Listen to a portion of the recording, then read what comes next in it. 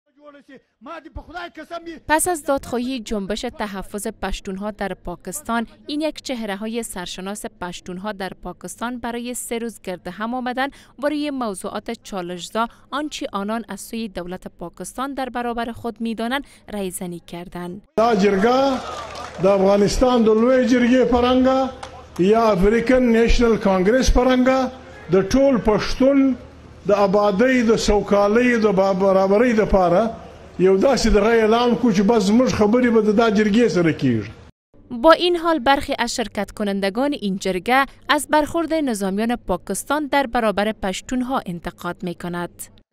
په اوسني وخت کې په اته زره نه زیات ځوانان ورک لري.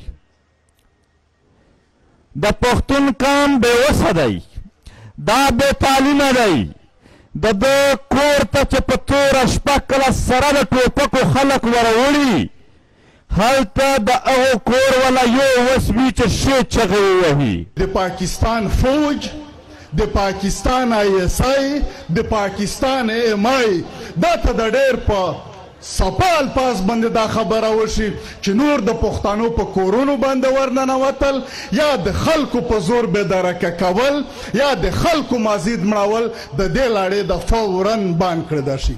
در این جرگه سرتاسری پشتونها محمود خان اچکزی بر ایجاد یک کمیسیون حقیقتیاب نیز تاکید کرد.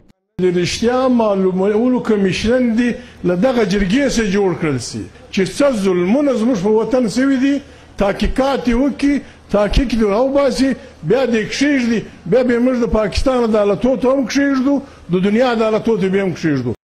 بر بنیاد گزارش ها پنج هزار تن در این جرگه دعوت شده بودند اما تعداد شرکت کنندگان سه برابر دعوت شدگان بوده است.